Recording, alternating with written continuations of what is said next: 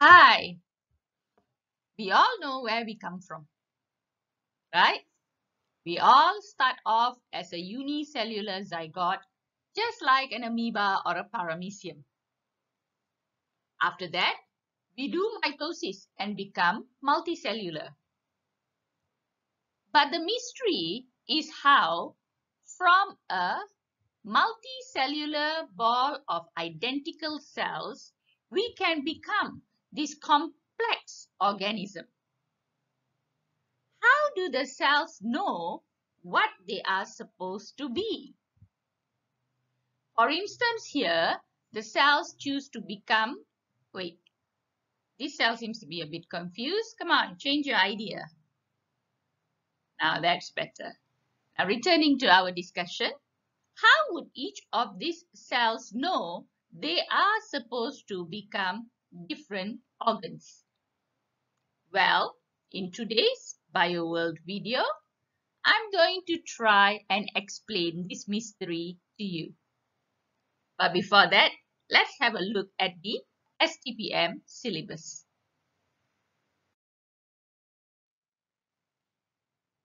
In the STPM syllabus, you should be able to give brief description of the different stages in embryonic development.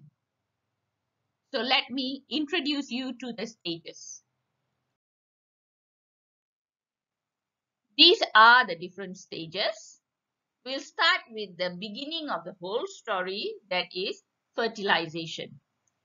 Now after 6 hours, there will be a zygote.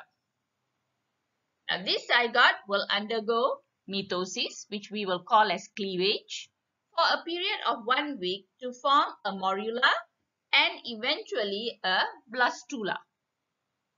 Now this blastula will carry out implantation and inside the endometrium, the blastula will carry on a process known as gastrulation to form a gastrula. Okay.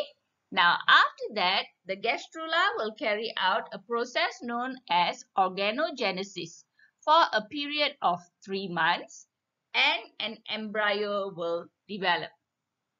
Now, the embryo will be safely inside the placenta by now and the structure of the embryo starts to develop into a human-like form which we call the fetus. Now, after nine months of pregnancy, parturition, that is the giving birth process, will occur and you will have a happy little baby. Now, for today's video, I will be explaining the process of transformation from zygote right up to the process of organogenesis. This will cover what we call as the embryo development. As usual, our story will begin with spermy and ova, where fertilization occurs to form the zygote. Now, what the zygote will have to do in a period of three months is first, it will carry out cleavage in the first week. Following that, it will carry out a process known as gastrulation and end with organogenesis. So, after organogenesis is completed, the structure that was originally a zygote will now be called an embryo. That is the embryonic development that I will be describing today. Let's start with cleavage. The first step of embryonic development involves cleavage which is actually multiple mitosis, meaning that mitosis will be carried out repeatedly to change this unicellular zygote into a multicellular tissue. So the first mitosis takes 36 hours until two cells are formed. The second mitosis takes 60 hours to form four cells. Now, between each mitosis, the cells are not given the opportunity to grow. So you will notice that the cells are actually becoming smaller. Now in another 72 hours, the four cells become what we call an 8-cell embryo. Now at this stage, a process known as compaction will occur. Compaction is when these 8 cells will tightly start to attach to one another to make a clump of cells. It is possible that if compaction does not occur efficiently, the possibility of forming twins can start here. That is, when the cells are tightly arranged, it will make a single organism. But if they are loosely arranged, the probability to have more than one organism arrives. So anyway, let's talk about a perfect compaction. So once the ball of cells are compact, mitosis will carry on repeatedly until we get a structure called the morula. So if we want to describe morula, morula is a compact ball of cells. So you see the word compact comes from the process of compaction. So now we move on to changes that will occur in the morula. The process of cleavage occurs in the fallopian tube. So, when the morula arrives at the ending of the fallopian tube, the morula will undergo some changes. The cells inside the morula will begin to rearrange. So that now the structure is a hollow ball of cells.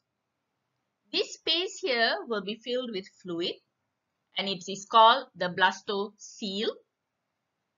The cells will be called the blastomere. So the structure is called the blastula.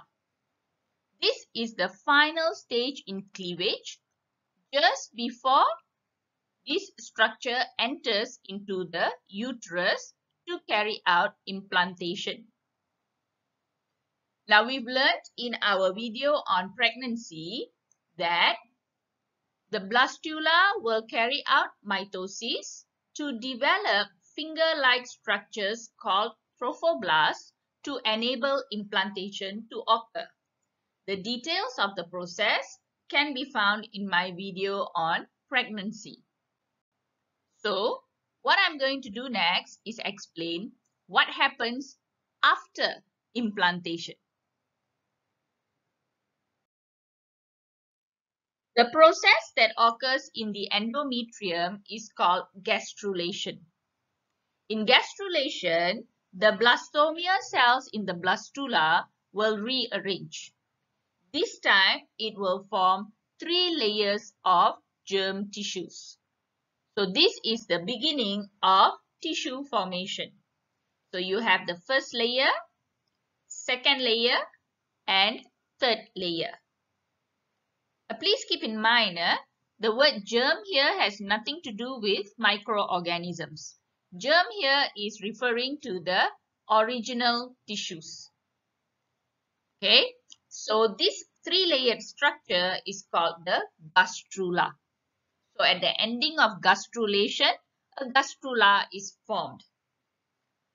For future discussion, I am going to use a more simple drawing. So blastulas will look like this and the gastrula will have these three layers. The first layer is the ectoderm. The second layer is the mesoderm. And the third layer is the endoderm. The hollow space that was earlier the blastocele now is called the archenteron. So that is the gastrula. Next, we see the changes that happen to the gastrula for the process of organogenesis. Organogenesis is when the three germ layers develop into bases of organs. They don't develop into organs yet because that will happen during fetal development. In the embryo stage, the germ layers will just be assigned their roles. So in other words, they are like told what they are supposed to become. So I will explain each layer separately. That is the ectoderm, mesoderm and endoderm. I'll start off with the ectoderm. The outermost layer of the gastrula is the ectoderm. So naturally, this tissue is going to develop the outermost layers of the organism. This includes the epidermis layer of our skin, nails, eyes, teeth, even our mouth. But the ectoderm also undergoes some changes where it moves inwards, forming a neural plate which will elongate into a neural tube. So the cells located at the neural tube will then develop into the central nervous system. This will include organs such as the brain, the hypothalamus, the pituitary gland, the spinal cord, the sensory receptors. So remember, although ectoderm is in charge of developing the external structures of our body, it is responsible for one important internal system that is the central nervous system. So imagine if any damage occurs during embryo development to the neural tube, then the baby that is born will have a damaged central nervous system. We move on next to the second layer, that is the middle layer, the mesoderm. The mesoderm is the middle layer of the gastrula. So it is responsible for the development of the middle or internal systems of our body. So to do that, the mesoderm will transform into four specific locations known as the notochord, somic mesoderm, lateral plate mesoderm, and nephrogenic mesoderm.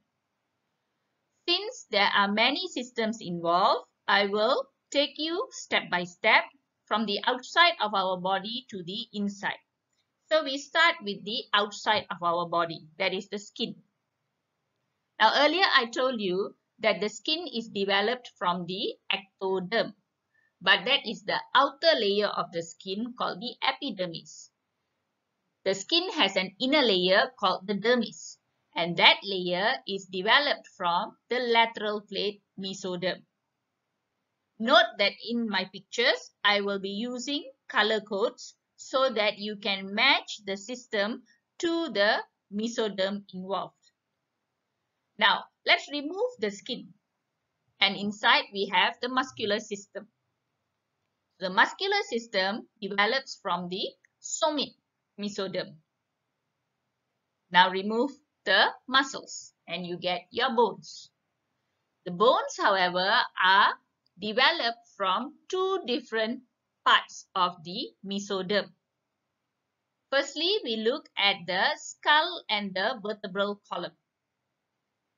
The middle part of our skeletal system is developed from the notochord. In an embryo, the notochord will actually give support to the structure of the embryo, but then once the baby is born and starts growing, the notochord will transform into a complete skull and vertebral column.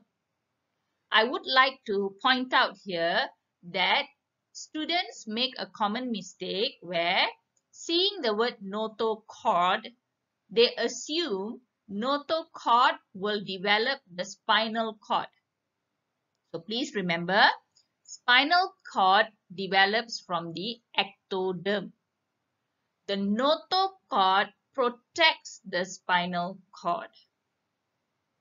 Now the rest of the skeletal system, your hand bones, leg bones and all, originate from the somic mesoderm. let's have a look at other systems. Let's take your circulatory system. Even your circulatory system is developed from two different mesoderms. The heart is developing from your lateral plate mesoderm, whereas the circulatory system, this includes your blood circulatory system as well as your lymphatic system. Both these systems are developed from the nephrogenic mesoderm. But wait, some more. We have the reproductive system and the excretory system. These systems are developed from the nephrogenic mesoderm too. A simple way to remember is you see your excretory system involves the kidneys that have nephron. So the name nephrogenic mesoderm. So I hope that is of a bit of help. Okay, we move on to the final layer of the gastrula. That is the endoderm. So you just have to imagine what is the innermost structure of our body. It has to be our digestive system. So the endoderm and the space here, the archenteron, is actually the center part of our body where food passes through. So the endoderm is responsible for your digestive system as well as your respiratory system. So now each layer of tissue knows what it has to become in the period of 9 months. So with that, we have completed the discussion on cleavage, gastrulation, and organogenesis. So in my next video, I will cover the balance that is the development of the fetus as well as birth of the baby. So I'll see you soon. Bye bye.